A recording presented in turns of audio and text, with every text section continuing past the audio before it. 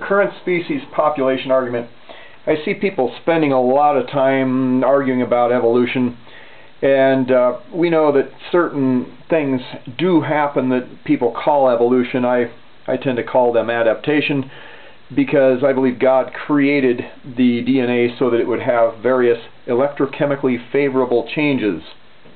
And that's a very important term that I'm going to use a few times here electrochemically favorable changes that uh, can occur and uh, just conveniently cause a, a, beak to grow longer on a bird, for instance, uh, to make it so that it can adapt to an environment where it needs that. Whereas uh, one where it's in a different environment, it may be more efficient for it to have a shorter beak and it'll uh, put back into that environment because it's an electrochemically favorable change uh, it will flop right back and some of them will start having shorter beaks and those will persist. And in that case sure uh, the uh, theory of uh, evolution uh, basically plays out. However uh, evolution between species is ludicrous and we're going to see why today. Between complex species now we see the one instance of lizards around the lake and I drew this I said this looks like a fist. I, I'm not a very good artist I was uh, going to try to draw some kind of lizard head there. I am a happy lizard here, and I came from my ancestor who was a not as happy lizard. Oh, poor Liz. And um, this guy uh, wasn't quite as adept for a particular environment, maybe. So this other uh, species spawned here. Now we assume it's a species. They, I don't know if they've really been able to check whether these things can, may. How do you, how do you check whether a lizard just doesn't like the smell of a previous, you know, there may be some uh, thing that is causing it to be driven away from the previous uh, species. It may be that they absolutely have compatible DNA, but it just isn't known.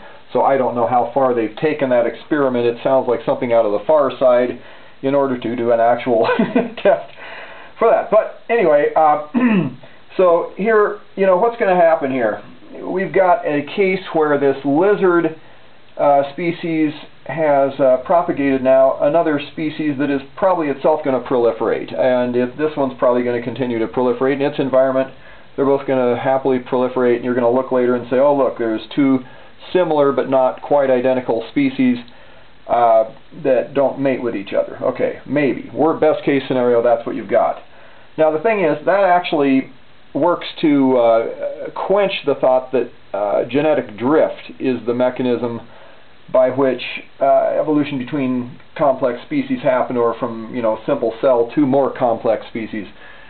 Um, up here I've pictured you know a chain of many many many many many many many segments, millions of segments, of slow gradual changes are happening and the, supposedly the the uh, due to survival of the fittest uh, natural selection as they call it. Due to this uh, effect, uh, these are going to die off and these are going to, you know, proliferate. Well, there's a distinct problem here and let's take a small uh, segment of this and look closer up at it. Within this segment, it's like, you know, Lizzie's here, there are going to be changes that are going to be electrochemically favorable and they, they may even cause, at some point, a change where it won't mate with the other thing. That, that could happen, you know, but they're still, they don't have different organ systems substantially. There, there aren't, you know, very complex changes that took place. A change that uh, is invoked that causes something not to want to mate with the prior species or not be able to is not necessarily a very complex change in the DNA. So within this structure, and who knows, this thing at some time may spawn a species that goes right back and can mate with those. You know, it's uh, very possible. It isn't necessarily going to go down some chain here. But anyway, so within this genetic space, you've got a lot of electrochemically favorable changes I've drawn within this envelope. Uh, there is, is, all this activity uh, that this this initial genetic structure here can change over to another genetic structure that's over here or over here and you know there's a lot of possibilities within this framework where they are electrochemically favorable change.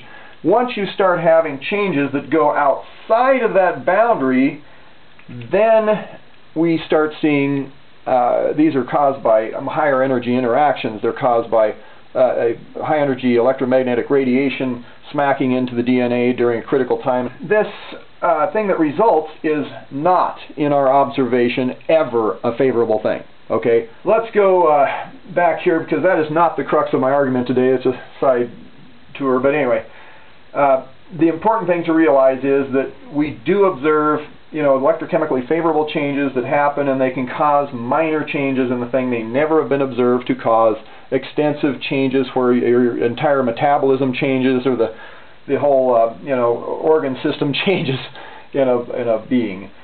So we've got that going on. Changes outside, death, infertility, bad things, uh, birth defects, those kind of things. That's always, if you read any medical site, they'll tell you 100% of the time when you have these uh, mutations caused by x-rays or this kind of thing, it's always something bad, okay? High energy ones are not good, and that's because uh, the designer created it so this molecule has a, a, bandwidth of things that can change due to environment, normal situations, and you didn't in, initially intend even high energy radiation to be in the picture, I believe. There was a firmament, but anyway.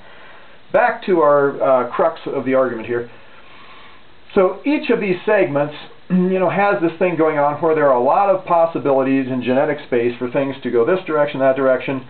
And what I'm saying is, if you have a chain millions long, it ain't going to be linear, baby. It's going to go all different directions. It's going to go, you know, you're going to have things shooting off every which direction uh, and going for some length. They may not go very far.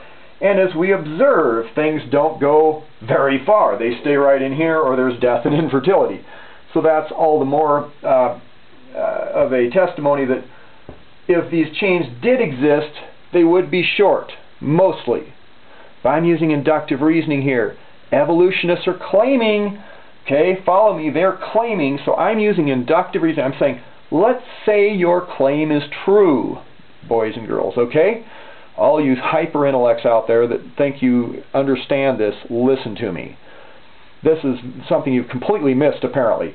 Because if, statistically speaking, you had a chain millions long, it isn't going to be just a straight line, okay? It's going to go, it's going to have stuff taken off, and some of them won't. Some of them might just go to the next one and then orphan. But statistically speaking, you're going to have a lot of them that go off for some distance in genetic space that there's so many ways to go. You're going to have some of them that go 3, 4, 20 different directions if it's possible to go a million in one direction, okay? That's what I'm saying. There's no statistical reason that it should be more likely that it just goes in a chain. this is very, very simple, and I don't know why this argument has been overlooked by most of the academic community, but perhaps it's because they have tunnel vision and they can't see beyond their own, you know, they're, they're, most of these people live in fear. They're afraid of losing their grant. If they started talking about something like this, they'd be thrown out probably. They figure people would go talk to the people that are funding them and they'd get their grant removed. Well, I don't have a grant and I can speak the truth. And the truth is, if you had a million long chain, you'd have all kinds of different directions coming off of a lot of these segments in the chain. Okay? And uh, as you get closer and closer to human from whatever our, our common ancestor here is, see a common ancestor human over here, okay, let's say, millions in here, and we're amplifying and looking at a segment of the chain near the human population, you would have had, you know, uh, these thousand, you know, segments here that are all fairly human-like by that point. There's just minor changes happening each segment, okay? You would have all kinds of chains going off here and different things, and these wouldn't go very far perhaps and they would be called leaves on the branch essentially. They would form very quickly a, a population that just sat there and it didn't have really anywhere to go but back. You could go back to there but because of what genetic space is it's a code a very complex code that uh, describes the development of a living being. And so you don't necessarily have a line where you can just keep going and going and going. Eventually something gets out of sync with something else and you simply wind up with a non-viable piece of DNA that cannot create a living being.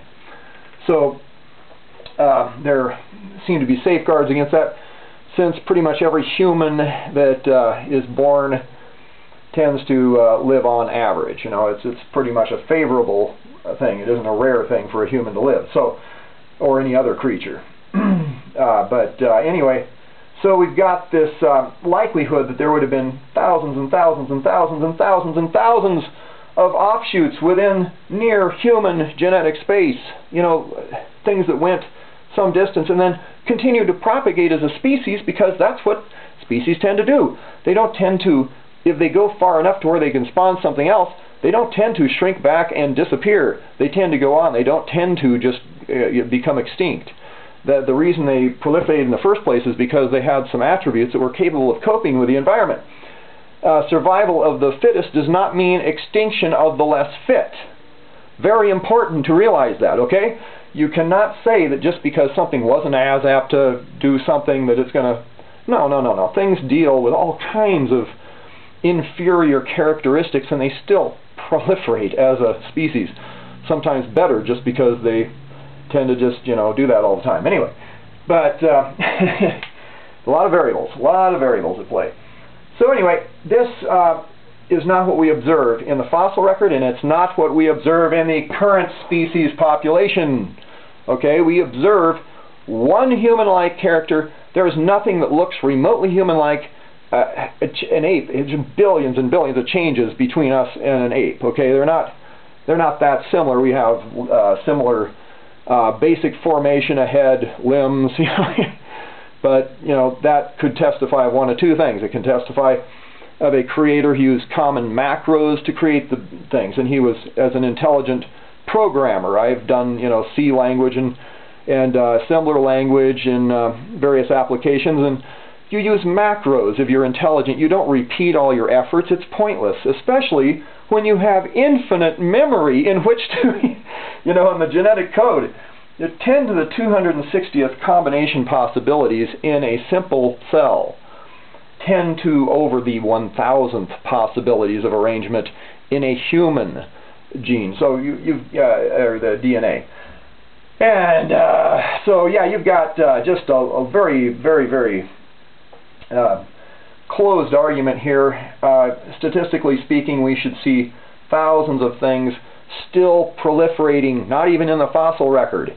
In the fossil record, we'd see a lot more, obviously. Uh, people say, well, fossils are rare. Yeah, yeah, but we see, you know, a lot of certain kinds of things in the fossil record. Uh, but ignore the fossil record. It's not important because living right here among us should be all kinds of things where, you know, people find out, oh, gee, I can't mate with that thing. Oh, okay. Ah, it doesn't happen that way. Every human on the planet is uh, compatible, uh, pretty much, as far as I know. I don't think there are any near-human uh, species here that uh, are not human. I think everything that looks like a human is a human, and uh, God created us uh, as a people who are completely compatible in that way. Now, um, if you want to take this to a peer review board for me, I would appreciate it because I found that most people just turn a deaf ear to things that, that violate the current status quo. In fact, I was thrown off the physics forum for discussing non-mainstream theories. How kooky can it get? I mean, I can't even talk to people on a silly physics forum on the internet about, I asked for data on, uh, this had to do with the Big Bang, and I'll try to do a video of that someday, uh, discuss the reasons why I don't believe the Big Bang happened, and it has to do with blue shift in our local system here and uh, evaluating the actual velocities of galaxies.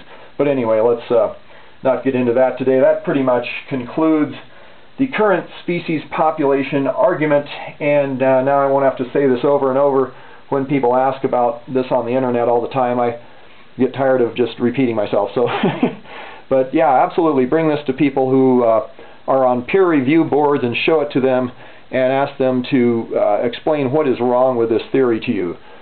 Alrighty, have a good day.